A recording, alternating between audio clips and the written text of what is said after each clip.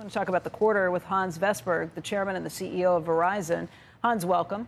Good morning. Good morning. Thank you Morning. for having me. It, it looks like the stock is trading more off the guidance that you gave for 2023 because when you look through some of those numbers, uh, it's a little lower than the street had been anticipating. When I, when I look at the guidance, 455 to 485, that compares with the street estimate of 497. You've got a lot of other guidance numbers that we can look through, but the reaction that you're seeing here this morning is that what you think it is too? I- It's hard, it's hard to say in the in the training trading before the opening, so it's a little bit hard to say. Let's see how the d- day turns out. I think we had a very solid fourth quarter. We delivered on all our numbers. We continued to generate cash more than anybody else. We had an EBIT of almost 48 billion last year, and we continue with a very strong uh, uh, dividend, 16 years of consecutive growth of our dividend to our shareholders. Uh, So I think we have a very strong company. Then we had a year last year where Actually, I was disappointed over the second quarter, really disappointed. We didn't perform.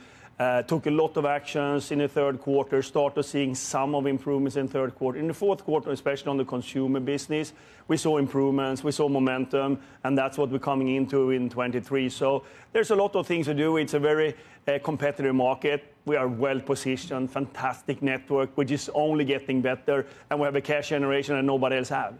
The, the consumer wireless business, that's the one that you've been running. You talk about the disappointment you had in the first half. Um, you, you did warn in July and brought Yeah, numbers I down for the year.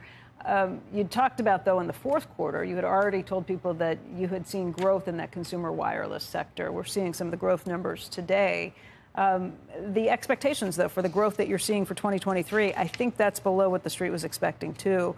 Wireless retail postpaid phone net adds, 41,000. The street was looking for 75,000, I think. So, what, what are you seeing right now just on the ground? A, on the ground, I spend a lot of time on the consumer business. I mean, first of all, our wireless uh, uh, phone net adds in the in the fourth quarter was 217,000. Yeah. The business side is doing extremely well. I mean, we have six consecutive quarters, more than 150,000 uh, phone net adds uh, in the in the business side. On the consumer side, yes, you rightly said, we had 41,000 new net adds in the fourth quarter. But important for us, we were coming with the momentum into the quarter. We saw softness in in certain segments for us because we were not performing well. We addressed that with new offerings. Uh, We also decided to regionalize more the organization uh, to see that we're actually combating more locally because the network is so good, and we see traction where we build this, the new spectrum that we have. And finally, we also allocated money differently. So I think that is what we're seeing right now coming through in our numbers. And I spent a lot of time in the stores with our employees, meeting customers during the holiday season, which was very interesting holiday season because the there was a little bit, the store traffic for us has grown uh, quarter over quarter, but what we saw was the intent to do business is much higher.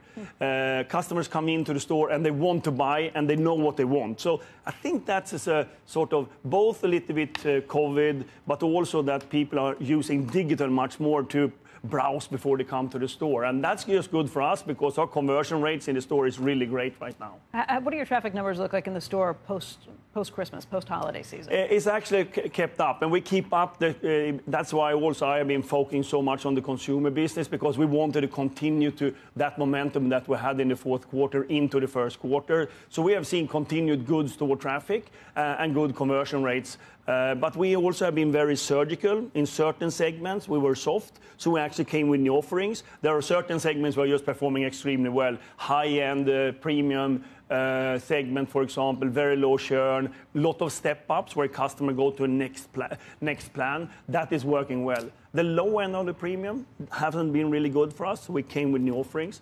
And then in the prepaid or the value segment, we also introduced new brands where we position us ourselves a little bit higher up. So